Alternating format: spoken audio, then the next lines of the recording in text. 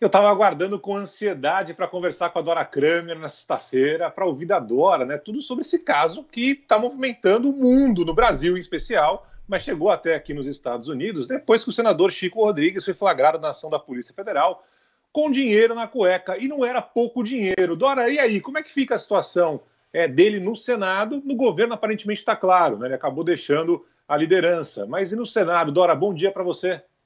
Bom dia, Barão. Bom dia, Carla. Hoje eu não estou vendo vocês, nós estamos aqui sem imagem, né? Mas vamos lá. Bom dia para todo mundo. Olha, oh, você sabe que a primeira coisa, Barão e Carla, que eu pensei foi no Zé Simão. Piada pronta, né? Total. Completa piada pronta. E aí depois eu fui, antes de pensar seriamente no assunto, eu fui entrando numa viagem e disse, meu Deus do céu, que coisa e a situação do delegado, quando viu um tufinho é. lá na roupa do, do, do, senador, e aí como é que ele faz para fazer a, a, a, revista, né? Diz, senador, olha só, tem aqui um problema, enfim, eu fiquei viajando. Constrangimento, mas... né, Dora, para todo mundo. O pessoal fica preocupado com o constrangimento do senador e o nosso, e desse delegado, como você está bem dizendo. Né? Constrangimento do delegado, uhum. o senador, né, enfim. Mas aí tem essa parte da anedota, tem a comédia, mas tem o lado tragédia dessa história, né? Que a comédia é irresistível, é inevitável, a piada, se fez isso o dia inteiro tal, porque realmente o episódio enseja isso. Agora, o lado tragédia, ele é muito maior, né, do que o lado, do que o lado comédia. Bom, primeiro tem essa coisa que está agraçando o país afora, que é a corrupção na saúde, o aproveitamento dessa, quer dizer, da, dessa de você, o do manejo mais liberal, digamos assim, com verbas para as pessoas simplesmente roubarem. Chegaram ao cúmulo de ser um senador que integra uma comissão encarregada de fazer exatamente essa fiscalização, ou seja, desmoraliza completamente a, a comissão. Depois você tem o lado da, da corrupção no entorno da presidência da República, justamente, olha, o destino também como é piadista, né? É, isso vai acontecer no momento em que o presidente trata desse assunto de corrupção, seja se jactando de que no governo dele não tem corrupção, sendo fazendo pilhéria, dizendo que vai dar voadora no pescoço e quem for pego. E aí, no entorno dele, é, aparece uma pessoa envolvida num caso desse e fora a paz, quer dizer, você tem o dinheiro, tá, mas onde vem esse dinheiro? O dinheiro, obviamente, é ilegal porque estava escondido, tá certo? Uhum, então, claro. obviamente que é ilegal. Uh, então, uh, quando ele diz, o presidente diz, não, não tem nada a ver com o meu governo. Olha só, a denominação vice-líder, aspas, do governo.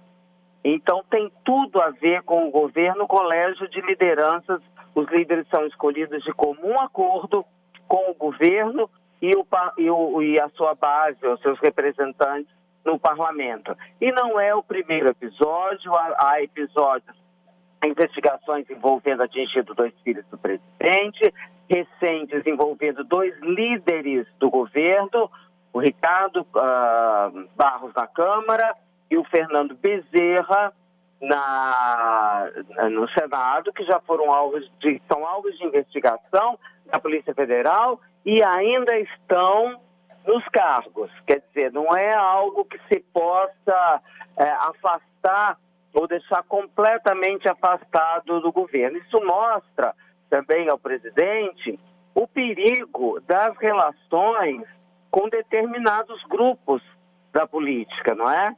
Então, e de, dessa, dessas relações, o PT poderia dar notícias extensas ao atual governo. Alô? Vocês não, eu tive a impressão que caiu a ligação. Não, não, estamos é? aqui. Extensas, extensas notícias, porque quando é que começa a confusão que vai resultar no mensalão? Com o PTB base aliada uhum. do então presidente Lula. Uma briga de, de corrupta, de um dinheirinho lá que era 30 mil reais, lembra do cara? Uhum. Pedindo é, uma é. propina. Aí quando se levanta, quando se puxa esse fio, vem tudo isso que a gente viu com as consequências uh, que a gente notou. Então, eu, fosse presidente, não ficaria tão risonho e tão tranquilo, porque essa coisa da corrupa, é, da corrupção, desculpa, gente, ela, ela ronda e o escândalo está na esquina à espera de explodir, porque os métodos estão aí, os personagens estão aí, e mais, a esses personagens foi dado destaque, né? Então, esse episódio, a parte da, da, da derrota, da, desculpa, da anedota que nos diverte, né? É, você tem aí uma tragédia, ah, lembrei de mais uma hum. envolvida hum. nessa história.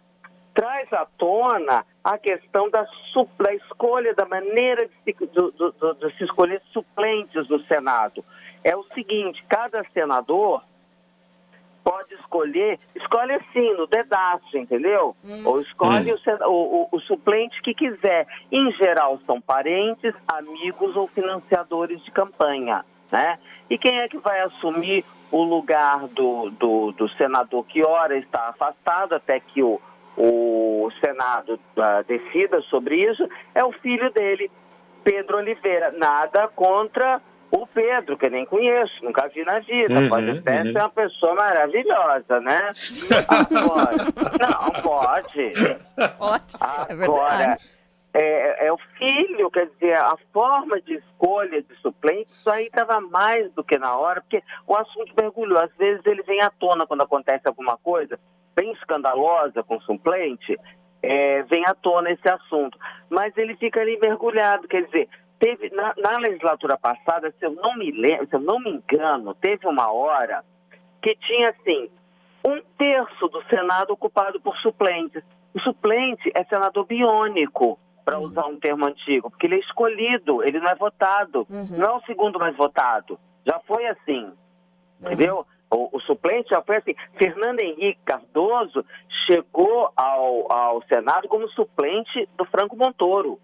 Era, uhum. era, era, tinha uma chapa, digamos assim. Agora não. Vem ali, escolhe qualquer um. Ah, já houve casos. Teve um. Ah, Barão lembra. Carlos talvez não uhum. lembro, que é muito jovem.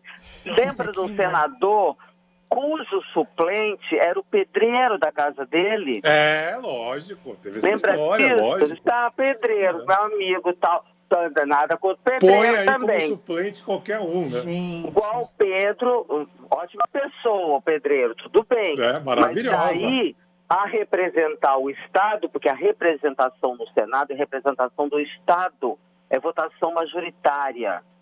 É. Então não é uma coisa é, irrelevante, não é uma coisa desimportante. Então é bom uhum. a gente olhar esse episódio e olhar todos os aspectos para além da anedota. Nos divertimos ontem o dia inteiro, povo riu, tal, nananana.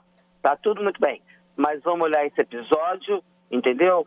Com o, os olhos mais rigorosos. Ele envolve várias mazelas da nossa República. Agora, com relação a essa tentativa de o governo desvencilhar né, a imagem do senador, da imagem do próprio governo, do presidente Jair Bolsonaro, se ele tivesse descoberto a cura para o coronavírus, a vacina contra o coronavírus, será que é, essa imagem não seria vinculada, né? Será que no, numa situação contrária isso não aconteceria? Só para a gente refletir. O que eu queria ouvir. Não. Diga. É, mas é, é isso mesmo, você uhum. tem toda razão. É a velha máxima do que é bom, gente. Mostra o que uhum. é é, ruim a gente esconde. Lembra também da nossa, do nosso histórico político. É, o Dora, lá. Os senadores eles estão bem irritados né, com esse pedido de afastamento que é. veio do Supremo Tribunal Federal.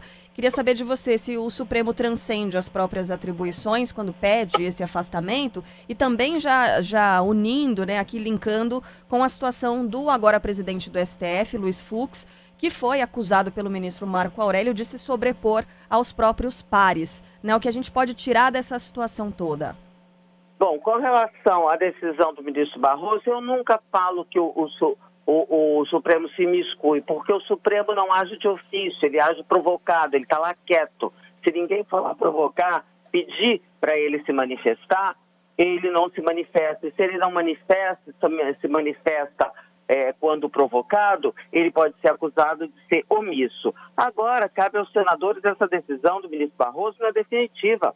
Ela precisa ir ao crivo do Senado. O Senado não concorde, então derrube. O problema é que ficam aí, por causa desse caso é, é, ter repercutido muito mal, fica todo mundo muito é, tímido, não querendo é, digamos assim, ser visto como aliado do Chico Oliveira. Isso é um aspecto. A outra coisa que você perguntou diz respeito à decisão ainda envolvendo o tal do traficante André do Rap. É. Você viu que foi, foi uma, uma decisão quase que por unanimidade, por unanimidade, né? Porque não podia se esperar que o ministro Marco Aurélio fosse mudar o voto dele. Ah, do jeito que ele é. Isso, Mas... os demais, né? Os demais, todo o tribunal com aquelas ressalvas que depois também foi abordada, que é a questão da decisão monocrática, agora precisa ir tudo para o plenário. Agora, o que, que eu achei? O ministro Marco Aurélio me chamou a atenção, é, é um ministro de grande conteúdo, agora, a, a maneira como ele se referiu ao ministro Fux mostra duas coisas. Primeiro, para mim, que ele ficou profundamente irritado com a repercussão geral do caso, né? Porque ele está muito acostumado em ser voto vencido, ele não se abala por causa disso. É uma prática dele, ele marca a posição, mas a maneira agressiva como ele se dirigiu ao, e, e, e grosseira mesmo ao ministro Fux e até a própria a forma de ser né, nessa decisão dos votos me indica que, bom, primeiro achei que ele estreou mal como decano, né, em substituição uhum. ao Celso de Mello. E segundo, que ele não será, acho que, que a gente tem nessa para frente ainda desse ano, porque ele se aposenta no ano que vem, nesse ano ainda do, do ministro Marco Aurélio como decano, é que ele não será, nessa condição, uma referência de equilíbrio como foi o, o Celso de Mello, entendeu? É outro estilo, e aí aquela coisa que a gente tem como o decano, aquela figura de referência tal equilibrada, ela não cabe no ministro Marco Aurélio. Dora Kramer conversando com a gente na sexta-feira sobre essa situação que o Brasil está enfrentando, principalmente com o homem da cueca. Dora volta na próxima quarta, nesse mesmo bate-horário no Band News Station. Dora, um bom fim de semana para você. Até lá. Bom fim de semana até semana que vem.